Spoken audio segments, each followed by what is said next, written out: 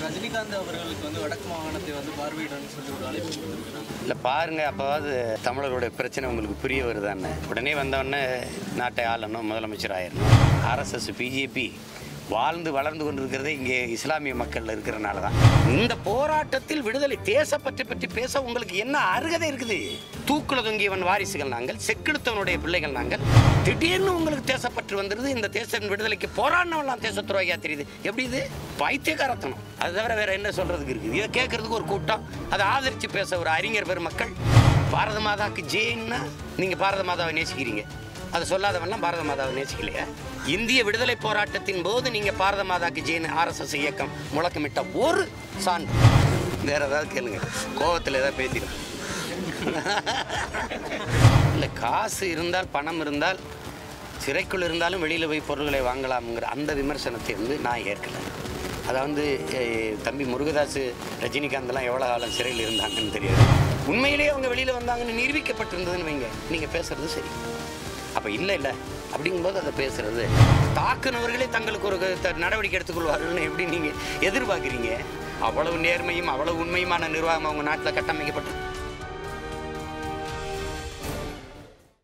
இலங்கையில் இலங்கை தமிழர்களுக்கு வந்து முறையாக வளர்ச்சி நிதியெல்லாம் ஒதுக்கப்படலன்னு இலங்கை வடக்கு மாகாண முதல்வர் விக்ன- முன்னாள் முதல்வர் விக்னேஸ்வரன் அது நீங்கள் உண்மைதான் சொல்லியிருப்பாங்க. ஒதுக்கப்படலை அதனால் அந்த மக்களின் பிரதிநிதியாக இருக்கிற ஐயா விக்னேஸ்வரன் அதை சொல்லியிருப்பாங்க.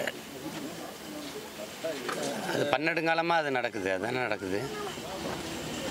ரஜினிகாந்த் அவர்களுக்கு வந்து வடக்கு மாகாணத்தை வந்து பார்வையிடணும்னு சொல்லி ஒரு அழைப்பு இது வந்து அந்த மக்களுக்கு ஏதாவது உதவிகரமாக இருக்கும் இல்லை பாருங்க அப்போவாது தமிழர்களுடைய பிரச்சனை உங்களுக்கு புரிய வருதான்னு. ஏன்னா எல்லாரும் அப்படி வந்தவொடனே அப்படி உடனே வந்தவொடனே நாட்டை ஆளணும் முதலமைச்சர் ஆயிடணும் அப்படின்னு நினைக்கிற எண்ணம் இருக்குல்ல? இது எவ்வளவு காயம்பட்ட இனம் எவ்வளவு தொன்மமான இனம்? உலகத்தில் எல்லா காவியங்களும் காப்பியங்களும் மையால் எழுதப்படுது. ஆனால் இன்னைக்கு எம்மின வரலாறு என்பது ரத்தத்தாலையும் கண்ணீரால் எழுதப்பட்டிருக்குது. அதை உணரணுங்கிறதுக்காக சொல்லியிருப்பாங்க ஐயா. வாங்க ஒரு தடவை எங்கள் நிலத்தை பாருங்கள் சிஏஏ குறித்து பல்வேறு சர்ச்சைகளும் பெரிய போராட்டங்களும் ஏற்பட்டுருக்கு இந்த சூழலில் வந்து நள்ளிரவில் இரண்டு நாட்களுக்கு முன்பாக வந்து அதை வந்து இந்திய அரசு வந்து இது பண்ணி அமல்படுத்தியிருக்குது. இதை எப்படி பார்த்துருக்கீங்க? அதான் முழுக்க பெருத்த தனித்த அதிகாரம் இருக்கிறதுனால அது நினைக்கிறத செய்யணும்னு நினைக்குது. அதில் நாடங்களும் இவ்வளவு கொதிநிலை எதிர்ப்பு அலை இவ்வளவு பெரிய போராட்டம் இது இருந்தும் அது மக்களுடைய உணர்வு அதுதான். அதுக்கு ஆட்சியாளர்கள் மதிப்பு கொடுக்கல துளியலோ மதிப்பு கொடுக்கலைங்கிறது தெரியவில்லை. அதுதான் இது. ஆர்எஸ்எஸ் பிஜேபி என்பது உங்களுக்கு எப்படி இயங்கும் அப்படிங்கிறத நம்ம ஏற்கனவே கணிச்சது தெரிஞ்சது தான் அதை தான் செய்யும். இவர்கள் வந்தாலே தான் செய்வாங்க. அவங்களுக்கு இருக்கிற ஒரே அரசியல் இந்த நிலத்தில் வந்து இஸ்லாமிய எதிர்ப்பு தான்.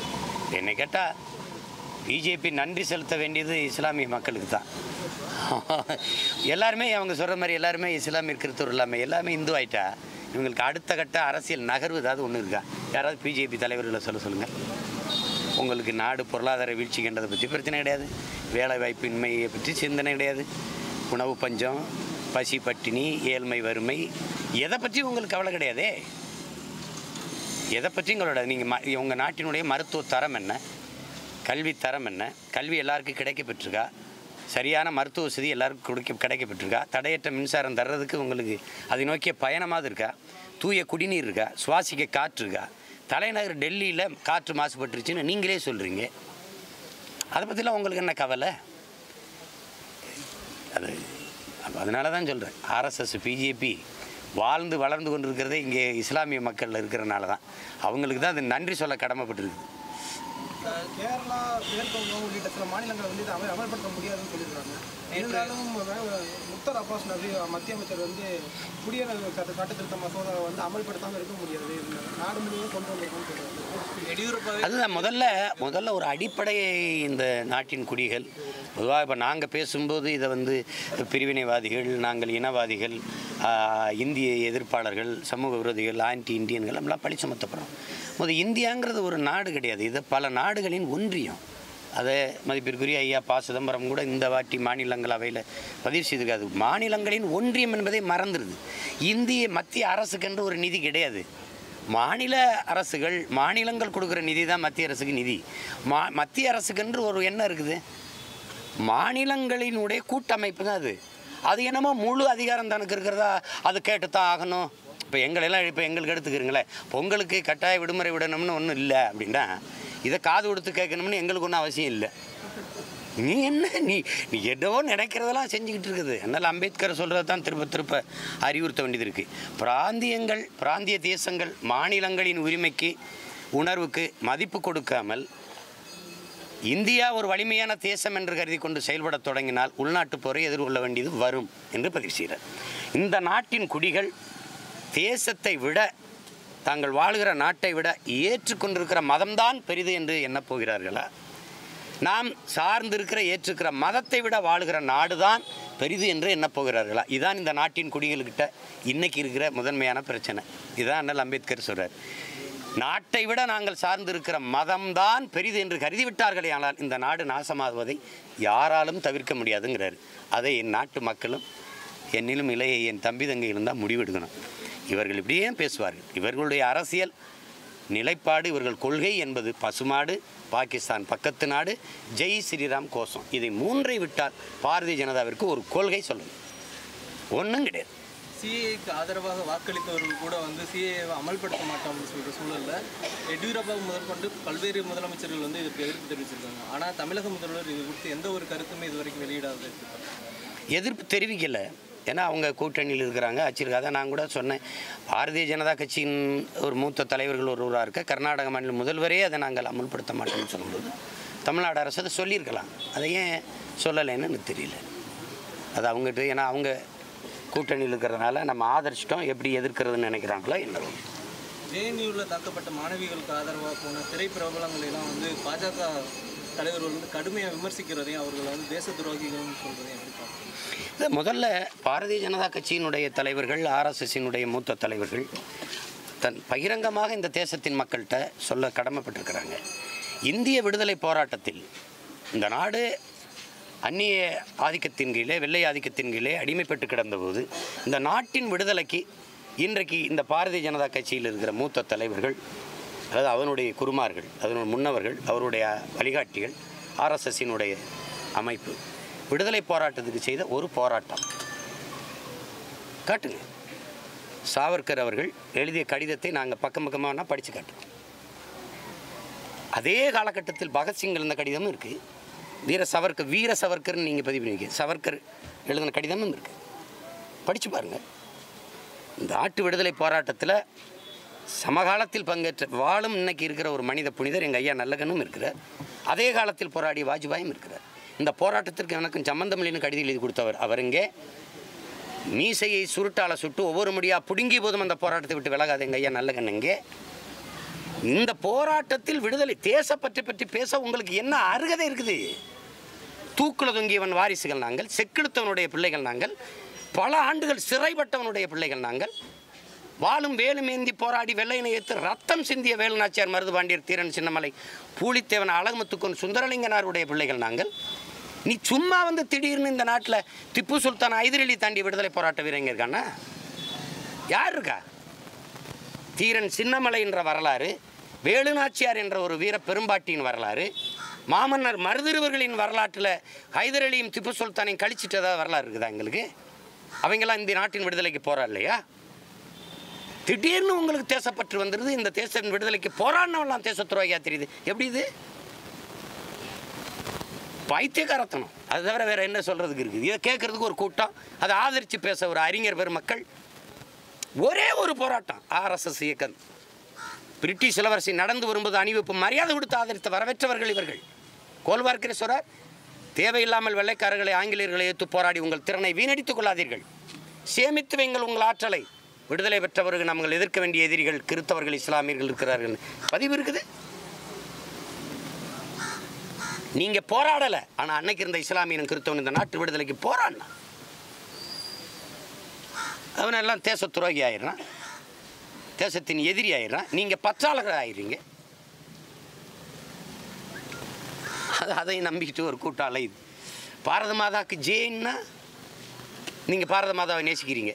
அதை சொல்லாதவன்லாம் பாரத மாதாவை நேசிக்கலையா? இந்திய விடுதலை போராட்டத்தின் போது நீங்கள் பாரத மாதாக்கு ஜெயின் ஆர்எஸ்எஸ் இயக்கம் முழக்கமிட்ட ஒரு சான்று. கூ- வேற ஏதாவது கேளுங்க. கோவத்தில் ஏதாவது பேசிடுறோம்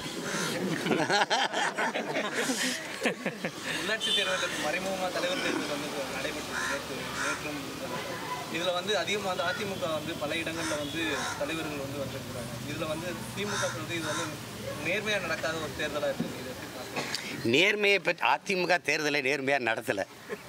சரி. ஆனால் திமுகவுக்கு நேர்மையை பற்றி பேச தகுதி என்ன இருக்குதுங்கிறதா நம்ம பிரச்சனை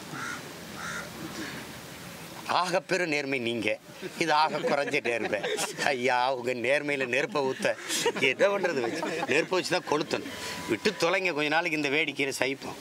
வேற ஏதாவது கேளுங்க ஆக்கப்பெருமா தஞ்சை பெரிய கோயில் பெரிய கோயில் தமிழில் குடமுழுக்க நடத்த வேண்டும் என்பதில் நாம் தமிழர் கட்சியின் பங்கு என்னவாக இருக்கும்? அங்கு வந்து நாம் தமிழர் கட்சியின் கொள்கை முடிவே எங்கள் கோயில் இது. எங்கள் கோயில் எங்கள் எங்கள் அரசியலுடைய தமிழ் தேசிய அரசியலின் பேராசனாக இருக்க ஐயா மணியரசன் அவர்கள் சொல்கிறாங்க பாரு கோயில் இவர்களுக்கு கிடையாது. கோயில் எங்கள் கோயில். நீங்கள் உள்ளே வந்து இருந்துக்கிட்டு உங்கள் தாய்மொழியில் மந்திரம் சொல்கிறீங்க எங்கள் பாட்டன் வந்து தமிழில் தான் குடமுழுக்கு நடத்தியிருப்பார். எங்கள் கோயிலில் நாங்கள் ஓதுவார்கள் புலிப்பாணி சித்தர்கள் எங்கள் பண்டாரங்கள் பண்டாரம்னா இவன் ஏதோ இழி சொல்லுன்னு நினைக்கிறான். அந்த களஞ்சியங்களை பொருட்களை பாதுகாத்து வைக்கிற இடத்திற்கு பேரே பண்டாரம். அப்போ இந்த மாதிரி பொருள்களை பாதுகாத்து வைக்கிற மாதிரி அறிவு அறிவை சேமித்து வைக்கிற பேரறிஞர்களுக்கு பேர் பண்டாரம் என்று அழைக்கப்பட்டது அவங்கெல்லாம் தான் வழி வழிபட்டு இருந்தவங்க கைவினைஞர்கள் இந்த குயவர்கள் வேளாளர்கள் அஹ் ஒன்னார்கள் இவங்கெல்லாம் தான் வழிபாட்டு வழிபட்டு கொண்டிருந்தவர்கள் எங்களுடைய கோயில்களில். எங்களை வெளியே திட்டு நுட்பமாக இவர்கள் வந்து உட்கார்ந்துட்டு இன்றைக்கி சமஸ்கிருதத்தில் இது என்னுடைய சிவன் என்னுடைய பாட்டன். உங்களுக்கு கொங்குதேர் சிவன் என்பவன் தமிழ் மூதாதை என்று உலகத்துக்கே தெரியும்.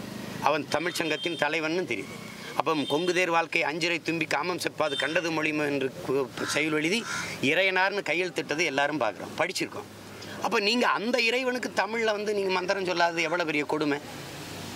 அப்போ அதனால தான் நீங்கள் கால் நூற்றாண்டுக்கு ஒரு முறை நடக்க இருக்கிற இந்த குடைமுழுக்கில் எங்கள் தாய்மொழி தமிழில் எங்கள் இறைவனுக்கு எங்கள் மூதாதைக்கு வழிபாடு நடத்துங்கள் என்று கேட்குறோம். அது தமிழ்நாடு அரசு வந்து மத்திய தொல்பொருள் அதாவது ஆர்காலஜிக்கல் துறையில் இருக்கிறது. அவங்க அங்கே இருக்கிற அதிகாரிகள்லாம் அவங்களுக்கு தெரியும். அவங்க சமஸ்கிருத ஹிந்தி தான் அவங்களுக்கு மொழி. எங்கள் மொழி நீச பாஷை நாங்கள் இதெல்லாம் இதுக்கு போராடுவோம். இருபத்தி ரெண்டாம் தேதி பெரிய கூட்டம் வச்சுருக்காங்க ஐயா மணியரசன் அவர்கள். அதில் நாங்கள்லாம் பங்கேற்று அதுக்கு ஆதரவு கொடுக்குறோம். அதில் நாங்கள் போராடி எங்கள் தாய்மொழி வழிபாட்டை மீட்போம். கன்னியாகுமரியில் காவல்துறை அதிகாரி கொல்லப்பட்டது இது வரைக்கும் அது கொல்லப்பட்டவர்கள் கண்டுபிடிக்கப்பட்டது அது கண்டுபிடிக்கணும். நாங்களும் கண்டித்து அறிக்கை கொடுத்துருக்கோம். பல தளங்கள்லேருந்து அதுக்கு எதிர்ப்பு நிகழ்ந்திருக்குது. காவல்துறை அதிகாரிகளுக்கே பாதுகாப்பற்ற சூழல் இருக்குன்னா நாட்டில் பாமர மக்களுக்கு அது இருக்காதுங்கிற பயம் வரும் நடுக்கம் வரும். அது உடனடியாக தமிழக அரசு தலையிடணும். அந்த அதிகாரியின் குடும்பத்துக்கு நிதி ஏதோ அறிவிச்சிருக்காங்க கேள்விப்பட்டு அறிவிச்சிருக்காங்களா என்ன ஒரு தெரியல அது. ஒரு கோடி ரூபா அறிவிச்சிருக்குன்னா அதுக்கு அதுக்கு பாராட்டுக்கள். அந்த குடும்பம் சார்ந்த உறுப்பினர்களுக்கு அரசு பணி கொடுத்து தொடர்ச்சியாக வாழ்நாள் பாதுகாப்பு அவர்கள் கொடுக்கணும். குற்றவாளிகளை கண்டுபிடிச்சு உடனடியாக நடவடிக்கை எடுக்கணும். அப்போ தான் காவல்துறையை தாக்குனாலே நடவடிக்கை தாமதமாகும்னா மக்களுக்கு வந்து தங்களின் பாதுகாப்பு மீது பெரிய பயமும் நடுக்கமும் சார் நீங்கள் ஒரு இயக்குனராக இப்போ தர்பார் படத்தில் சசிகலா குறித்து ஒரு சர்ச்சையான கருத்து வருது அப்படின்னு சொன்னோன்னே உடனே அந்த கருத்தை நீக்கணும் அப்படின்னு சொல்லி அந்த இயக்குனருக்கும் அந்த தயாரிப்பாளருக்கும் ஒரு குறிப்பிட்ட பேருக்கு வந்து ஒரு கொலை மிரட்டல் மாதிரியான இல்லை அ- அரசியல் அரசியல் விமர்சனங்கள் வந்து சரியானது என்றால் வந்து அது நம்ம வந்து அதை ஏற்கிறோம். இப்போ நீங்கள் உங்களுக்கு ஒரு ஒரு இதில் வந்து காசு இருந்தால்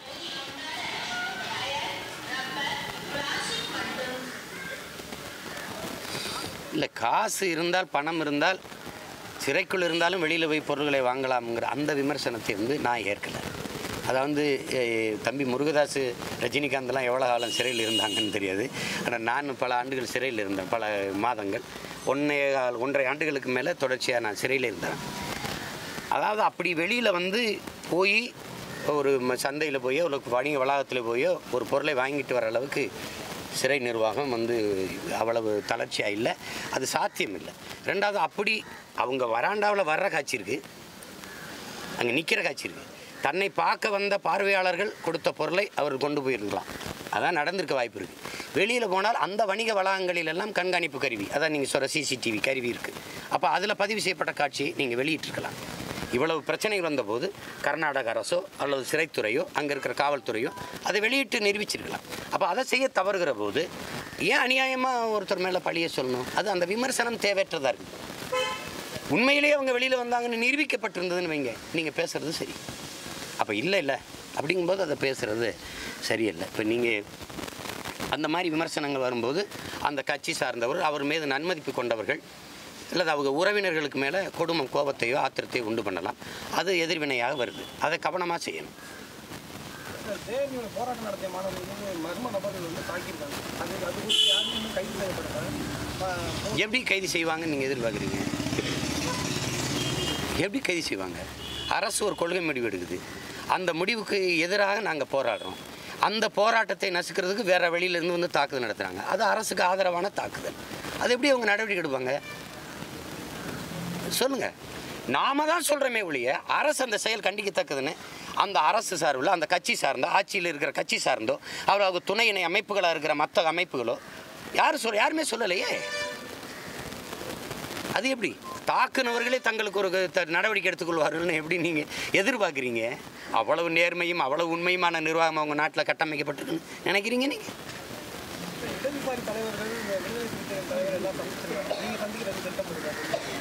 யாரை? மாணவர்கள் அங்கே இருக்கிற எங்கள் கட்சி பிள்ளைகள்லாம் அந்த மாணவர்களோடு இருக்கிறாங்க போராட்ட களத்தில் இருக்கிறாங்க போய் அவங்கள பங்கேற்று பார்ப்பாங்க. இடதுசாரி தலைவர்கள் எங்கள் கட்சிகள்னால் அவங்க பாராளுமன்ற உறுப்பினராக இருக்காங்க டெல்லியிலே இருக்கிறாங்க சந்திக்கிறாங்க.